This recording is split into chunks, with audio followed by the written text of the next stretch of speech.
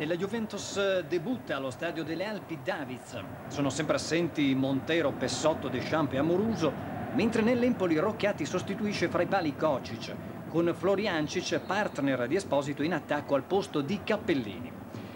La direzione di gara è affidata all'arbitro Serena e la nostra sintesi comincia al quarto d'ora del primo tempo. Un pallone che rimbalza nella zona di Del Piero. Quindi Zidane, arriva anche Conte, la sua rifinitura, tiro di Del Piero, respinto Inzaghi e il pallone in rete. Quindicesimo minuto, Juventus 1, Empoli 0 e settimo gol in campionato per Inzaghi. Passano appena 83 secondi e su questo calcio di punizione di Zidane, deviato di testa da Giuliano, la Juventus colpisce ancora con Del Piero, smarcato a tu per tu con Roccati. Al sedicesimo minuto, Juventus 2, Empoli 0 e comincia la domenica da bomber del fantasista. Dalla legittima euforia del giocatore bianconero passiamo ad una considerazione di natura tattica. Lippi lascia la fascia sinistra a disposizione di Torricelli e così Davids può scalare al centro, trasformandosi in un ringhioso Rottweiler costantemente in pressing sui portatori di palla dell'Empoli.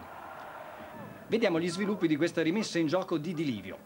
Il controllo di Del Piero supera Bianconi, Subisce poi l'intervento di Tonetto ed è calcio di rigore concesso dal direttore di gara Serena. Rigore battuto dallo stesso Del Piero. La sua rincorsa, calcia di destro, respinta del portiere, ancora Del Piero e De gol. 27 minuto, Juventus a 3, Empoli 0 e nono gol in campionato di Del Piero. L'Empoli comunque non si arrende. Attenzione alla bellissima punizione battuta da Floriancic che supera Peruzzi al 41esimo. Empoli 1, Juventus 3. Rivediamo il tiro ad affetto con la palla che si insacca fra palo e portiere. C'è uno scambio di idee molto gestuale alla fine del primo tempo fra Del Piero e Martuscello, mentre il montaggio di Alessandro Morbidelli ci sta per mostrare Rampulla pronto a rilevare l'acciaccato Peruzzi. Ed ora vediamo le fasi salienti della ripresa. Questo controllo è di Zidane, il lancio in profondità molto bello per Del Piero, dribbling ed è ancora gol. Decimo minuto, Juventus 4, Empoli 1 e decimo gol in campionato di Del Piero, che con 16 reti diventa il capocannoniere stagionale assoluto, mentre in Serie A scavalca Ronaldo e si porta alle spalle di Battistuta. Le sonore capocciate con Ferrara non demoliscono Martuscello, che con il suo epico look da gladiatore simboleggia lo spirito dell'Empoli. Intervento contemporaneo di Davids e Birindelli su Pane e quindi anche qui calcio di rigore. Siamo al ventinovesimo Esposito contro Rampulla e la palla in gol. Quindi Empoli 2, Juventus 4.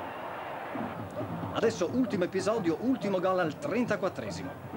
Punizione di Davids, leggera deviazione di Tonetto in barriera e la partita si chiude sul 5 a 2 con l'olandese festeggiato direi impetuosamente dai nuovi compagni di squadra.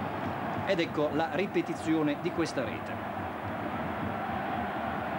È stata una vittoria importantissima per la Juventus, che chiude quindi il 1997 con grandi motivazioni psicologiche.